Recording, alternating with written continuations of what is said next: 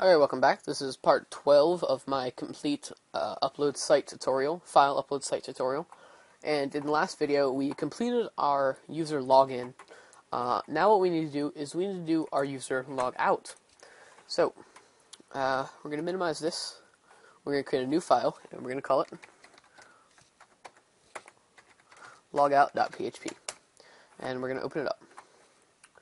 And really, if you wanted, which actually what I'm going to do is I'm going to highlight the entire code for the login page and I'm going to paste it into the logout page. And then I am going to get rid of all the PHP code right here. So we have this and we're going to change the title to logout. So we have our image um, and everything. So, first thing, I'm going to go to the status page. I am going to go right here. We're going to throw in a break, and we're going to create a link. So, this is what is displayed currently if a user is logged in. Uh, this is displayed on the home page. So, we're going to create a link that's going to take us to our logout page. So, logout.php and we're going to say log out. So if we save that, we refresh, we have a logout link. So it takes us to our logout.php page, and we can go back home. So uh, we're going to go to our logout page, and inside of our login box, first thing we're going to do is we're going to get the username.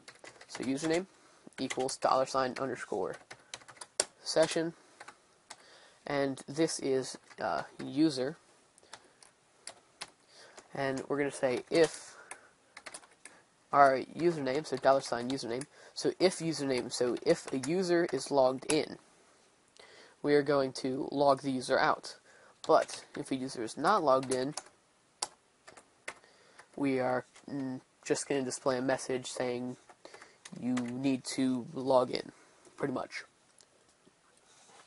So we're going to echo and actually, what I'm going to do is I'm going to go to the login page, and I'm going to grab this right here, and I'm going to paste it in here. So, I'm going to say, you must be logged in to log out. Please log in below. Um, now, you might not want to do this necessarily, uh, but why not? So, grab this form and just throw it up here. Okay, so if we just go to our login page and a user is not logged in, this is what we're going to have displayed.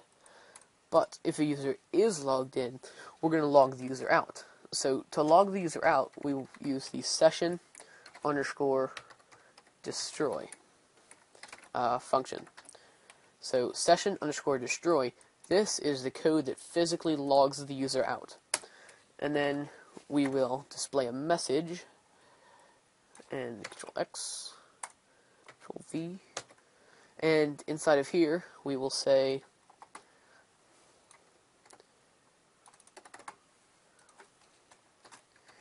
you have been logged out. And we cut that out by accident. Okay, so we're going to test this out. So we're obviously already logged in. This is continue on from the login we did at the end of the last video. If we click log out, you've been logged out. So if we go back to the home page, you see our form is displayed, which means that we're logged out. So if we go back to our logout.php page, you see you must be logged in to log out. So please log in below. So we have our login form right here. So everything's working fine. So that is the logout uh, page slash script. So now what I'm going to show you is I'm going to show you how to automatically redirect once a user is logged in or logged out. Um, so what we're going to do is when we log in, we're going to make it automatically redirect after 5 seconds or so. It's going to automatically take us to our home page, which is our index.php. And when we log out, it's going to do the exact same thing. So let's do it on our login page first. So the first thing we're going to do is we're going to scroll up, and where we have our body right here, I'm going to hit Control X. So I'm going to get rid of it. And then I'm going to hit get rid of it down here as well. So I'm going to save. So if I go to the login page, login, you see we have no visible change. The reason being because that's just sort of a developer uh, little bonus thing right there, um, which is kind of nice. It's really only for developers, and it's really only people who look at code that will see it. But it is great for using the on load function. Now, we are going to use the on load function, and I'm going to type in double quotation marks here, and I'm going to put uh, backslash or forward slashes right in front of our double quotation marks so they will not mess up our echo code. Now in here, we're going to uh, use the timeout function.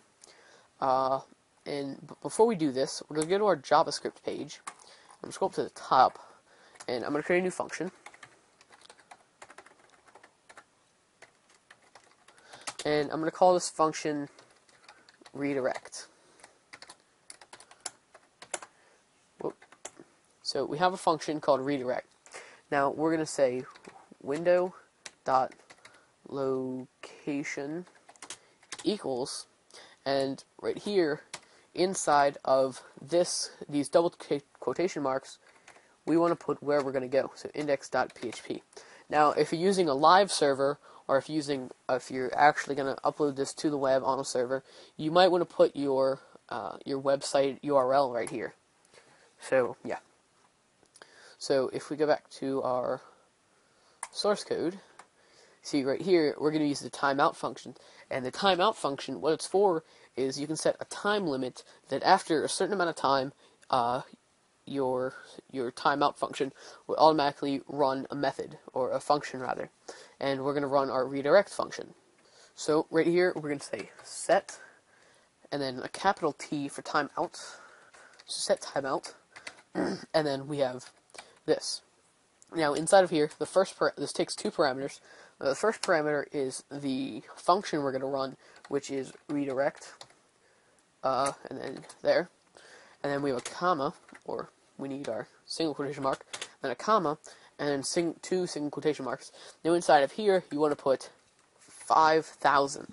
Now, this is 5,000 milliseconds, which is 5 seconds. So, if we uh, log in using basixnick. Say uh, password